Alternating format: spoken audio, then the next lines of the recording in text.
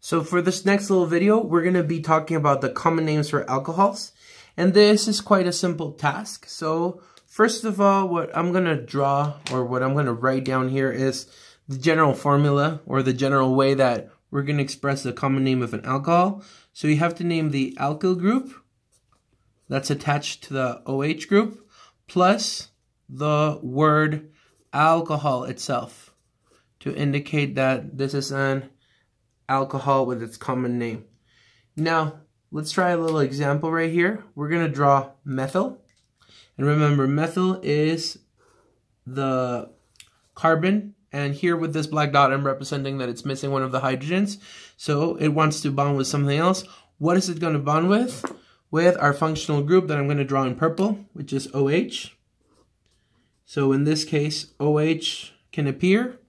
And when we put these two together, H plus that methyl group, we're going to get something very simple, which is OH. And then we just draw this to symbolize that there's a carbon chain. Or another way of drawing would be this. And another way of drawing it would be inverted right here. You can write it like this. Or in some textbooks, it might show up reversed, which actually would be a little bit more logical based on the bonding structure, but everything is the same. So here we analyze and we look at the structure and we say there's OH, hydroxy group. Hydroxy group is going to turn into the word alcohol. And what do we have attached to this hydroxy group? Very simple, methyl. So in this case we have methyl alcohol. And we can honestly do the same thing, the same repetition with any type of alcohol. And we're going to do OH. I'm just going to draw some OHs up here so that we can draw a couple of alcohol molecules. And we'll see how they show up. So here, I take this one, and if I draw this, and then I can draw this one as well, one, two, three, then maybe I'll draw this. And then maybe I'll draw one, two, three, four. And then one, two, three, four. And then we have one, two, three, four. And we'll leave another one for the end. So right now, remember, all these purple hydroxy groups are going to turn into the word alcohol. And what's left is analyzing what alkyl group we have at each of them. So in this case, we have ethyl attached to OH, alcohol.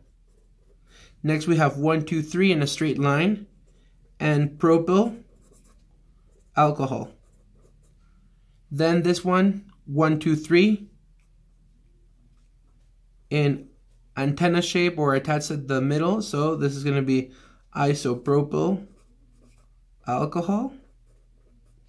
This one over here, 1, 2, 3, 4 in a straight line, and butyl alcohol.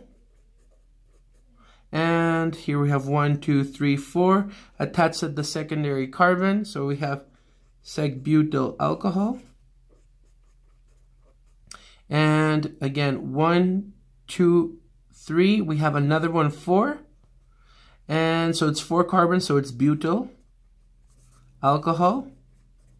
But since it ends in this antenna shape, one, two, three, four to the sides, it's isobutyl alcohol. So as you can see, it's very simple. We analyze a molecule, we see the alkyl group attached, the OH turns into the word alcohol, and the rest is the alkyl group, ethyl alcohol, isopropyl alcohol, methyl alcohol, and it's that simple.